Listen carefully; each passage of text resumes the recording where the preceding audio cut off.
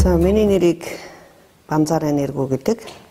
Би Монгол улсын ерөнхийлөгчийн тамгын газрын дэд даргын алба хашдаг. За Монгол улсын ерөнхийлөгч элбэгдөрж 2009 онд Монгол улсын ерөнхийлөгч болж тангараг өргөж өөрийн одоо төрийн тэргүүнийхээ үйл ажиллагааг эхэлсэн байдаг.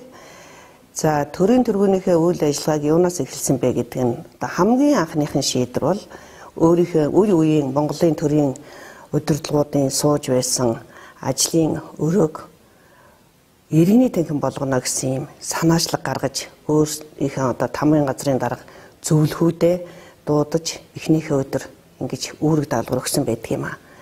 Тэгээд э, анх одоо энэ э, шийдвэрийг сонсоод э, тухайн үеийн одоо тамгын газрын удирдлагууд зөвлөхүүд их гайхсан шинжтэй одоо хүлээж авч ирсэн байдаг.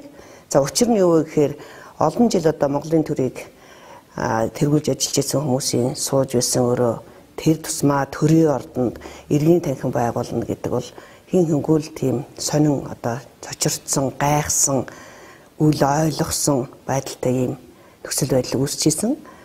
За тэгээд яагаад ямар учраас энийг иргэний танхим болгох гэж юм бэ гэж ингэж одоо ярьсан байдгийг.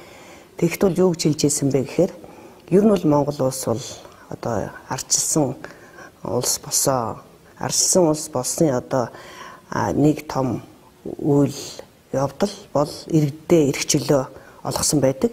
Тэгэхээр иргэдийг одоо эрх чөлөөг баталгаажуулахын тулд төрийн шийдвэр гаргах үйл ажиллагаанд иргэдээ оролцуулахын тулд иргэдээ сонсохын тулд ер нь бол иргэд бол энэ төрийн шийдвэр гаргадаг ордонд орж ирж санал бодлоо ярилцаж тэрийг одоо төрийн шийдвэр гаргагч сонсч ээж ингэж төр иргэний одоо хамтын ажиллагаа үүсэх юм аа.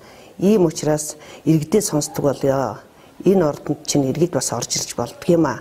Энэ арчилсан юм байдаг юм гэдгийг одоо харуулъя, үзүүлъя, хэрэгжүүлъя гэж ийм л зорилго анх тавьсан байдаг. бид нарыг энд үйл ажиллагаа явуулахад хүндрэлтэй зүйлүүд эхлээд бол байсан хүмүүс гайхсан цочирдсан зарим нь ирэхгүй дуудахаар иргэний тагмд хилцүүлэхтэй гэдээ яхаар бүр гайхаа төрийн ордонд дуудаж байна. Одоо яах гэж байгаа юм болоо гэсэн нэг хэсэг. А нөгөө хэсэг нь болохоор ордонд орж үзье. Төрийн ордонд орж үзье гэсэн бас нэг сонирхолтой хэсэг. А нэг хэсэг нь бол төрийн хилдэг нэг айдастай ч юм уу гайхсан нэг хэсэг. А нөгөө төрийн байгууллагын ажилт нь болохоор нөгөө асуугдах гэж байгаа, байцаагдах гэж байгаа юм шиг бас нэг тийм тийм бас нэг тийм хэсэг. А бид хэд бол энэчнээс нөгөө үйл ажиллагаа явуулах гэж байгаа ерөнхийлөгчийн ажлын багийнхан ерөнхийлөгчийн үзэл санааг дэмжиж байгаа улсууд болохоор шин юм хийх гэж байгаа гэсэн шин одоо үнцүүлийн үзэл санааг хэрэгжүүлж иргэдийн эрхийг баталгаажуулах гэж гэсэн бас нэг ориглон тэмүүлэлттэй нэг хэсэг. Ингээд айгүй олон хүмүүсийн бүлэг хүмүүсийн үзэл санааны одоо ийм өөр өөр үнцгийн уулзуурал иргэний танхим болж исэн. Монгол улсын ерөнхийлөгчийн дэргэдэх иргэний танхимд энэ 2009-оос 2016 онд ер нь бол 381 удаагийн хилцүүлэг болж 19987 мянган хүн ингээд оролцсон байдаг.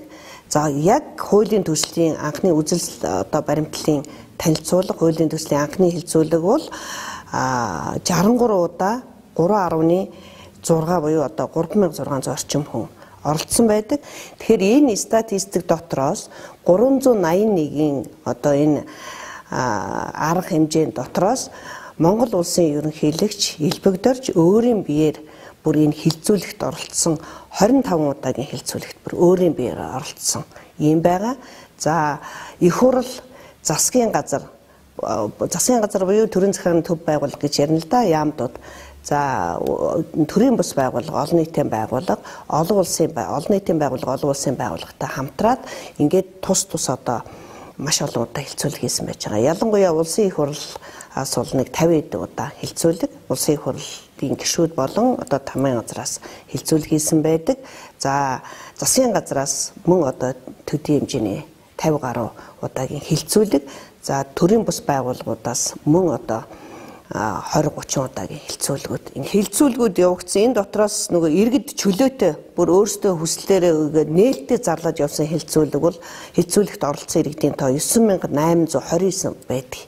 Тэгэхээр үндсэндээ 19 мянга 20 мянга орчим одоо иргэдийн бараг 10 мянга нь иргэд чөлөөтэй өөртөө ингээд би оролцсон би оролцсон гэж ирээд оролцсон байна гэдэг. Тэгэхээр би энд өнөөдөр бүр ингээд бодит болоод хэрэгжээд эхэлсэн нэг 2 3 хуулийн талаар би бас жишээ хэлье гэж бодож байна л да. Тэгэхээр энэ бол шилэн дансны тухай хууль гэж. За шилэн дансны тухай хууль гэж хуулийг бол бид нар Монгол улсын ерөнхийлөгч Элбэг доржийн санаачлагаар ажлын хэсэг байгуулад маш олон удаа хилцүүл хийсэн бас иргэний танхимд. Өшөө би дээр дурдсан төсвийн тухай хууль 13 оны 1 сарын 1-ээс батлагдаж юу хэрэгжиж эхэлсэн. Хууль бол 11 оны 12 сард 11 сарын сүүлээр батлагдсан байдгийг. Тэгэд энэ хоёр хуулийг бол маш олон удаа хэлцүүлсэн. Өнөөдөр энэ одоо амьдрал дээр бүр үр дүнгөө өгөөд бүр хүмүүс нэгдэг юм болцсон хууль байгаа. Тэгэхээр тэр төсвийн тухай хуулинд орсон нэг гол үзэл санаа юу байсан бэхээр орон нутгийн хөгжлийн сан. Орон нутгийн хөгжлийн сан гэдэг одоо бүлэг бол тухайн орон нутгийн хүн амын нэгтрал төвөөс алслагдсан зай хэмжээ ашигт малтмалаас олж байгаа орлого өшөө улсын төсөвт одоо бүрдүүлж байгаа татварын орлогын хэмжээнээс нь хамаарат тусгай коэффициентээр үржээд аймаг орон нутагт тухайн засаг захиргааны одоо төсвийн ерөнхийлөн захирагч энэ мөнгийг яаж хэрхэн зарцуулахаа өөртөө иргэдэд оролцуулаад шийднэ гэсэн ийм үзэл санааг бол төсвийн тухай хуулинд оруулж гисэн.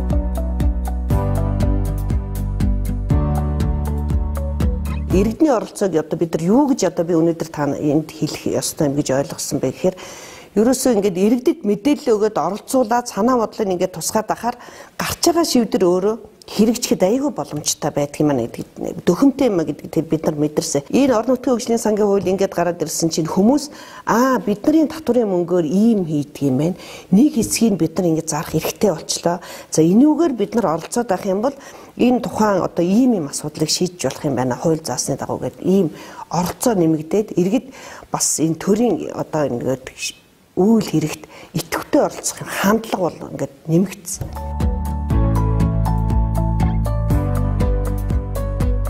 иргэний танхим гэсэн микроавтобус аваад хаан улдуургийн иргэдийн төлөөлөл шуурал.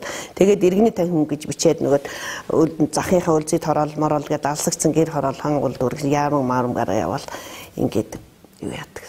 Нөгөө хүмүүстэй юмаа танилцуул ингэдэг бас.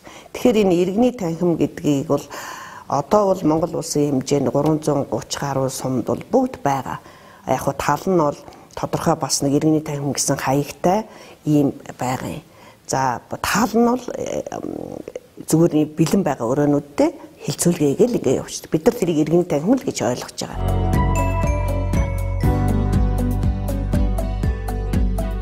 Иргэний танхим байгуулагдаад бид нар ийм үр дүнд хүрчихлээ Гэтэл иргэний танхим байгууллагатад үр дүнд хүрсэн чинь бас нэг юм асуудал гарч ирлээ гэж. Тэр нь ямар асуудал вэ гэхээр иргэдээ бид нар сонсчлоо, хилцүүлэгтээ оролцлоо. Тэгэд эднийг яаж туссан бэ гэдгийг иргэддээ эргэж мэдээлэх процесс дутуу юм байна. Тийм учраас ер нь энэ үндсэн хуулинд заасан иргэдийн одоо төлөөллөөрөө болон шууд оролцооны хэлбэрийг төрийн шийдвэр гаргахад одоо оролцоно гэсэн үндсэн хуулийн зарчмын үзэл санааг хэрэгжүүлэхэд энэ иргэдийн улс төрийн эрхийг хэрэгжүүлэх тусдаа хуулийн зохицуулт, эрх зүйн зохицуулт буюу хууль хэрэгтэй байна гэсэн ийм дүгнэлтэнд одоо судлаачид энд ажилласан улсууд ингэ судалгаа хийж гаргасан байдаг. Энийхэн дагуу бид нар төсөл хэрэгжүүлээд иргэний улс төрийн эрхийг эрхийг хэрэгжүүлэх тухай гэж ингэ хуулийн төсөл санаачлаа.